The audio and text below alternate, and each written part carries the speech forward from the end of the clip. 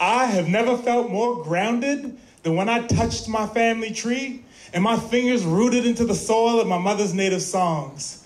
The veins in her hands intertwined with mine so sublime that they grew into branches that could reach as far as my ancestors' arms. Like a giraffe's neck, they gently left kisses in my memory that grew into fireflies that even to this day, when I close my eyes, I can still vividly rem- reminisce my roots.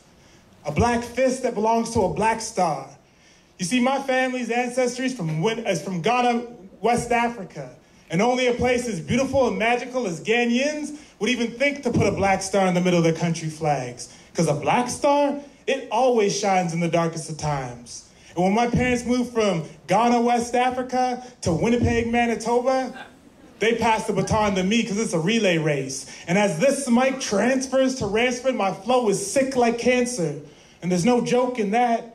Blank stares, no answers. Because the cards you get down life, they like random chance, like bullets with no answers. Blah, blah. Then voodoo dances. When a bullet hits the back of your head, you will pee your pants. And in stories like that, there are no romances. But you still need to ask the question to get the answer. See, there's knowledge in these lines, like sermons and classes. I'll be your freedom master, because at least I'm trying to free the slaves. The world was meant to be held, but its mental hold, it got us all crawling in our graves. And as we continue to read his story, we're slowly eradicated like Christopher Columbus did to the Iroquois and the Braves. Yes, I'm talking about the Indian raids.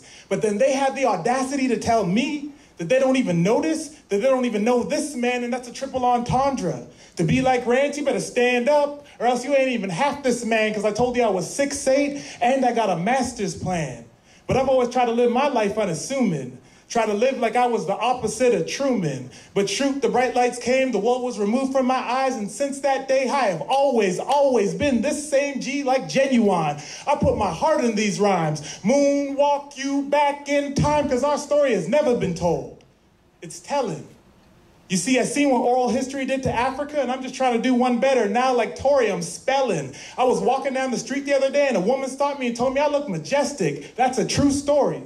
And if that ain't evidence that I come from a line of kings, you better check the transcript, and that ain't even a diss. I'm nice, just like my flow spits. You can use a pick, but who do you know who paints prettier pictures than thou? I spoke that in third person like I was praying aloud. I spoke with my fist in the air because I've always been Black Panther proud. You see, my father, he made me proud. He taught me that no matter what, never live under the shroud. And the way that we grew up, we were like the total opposite of Waldo because we always stood out in the crowd.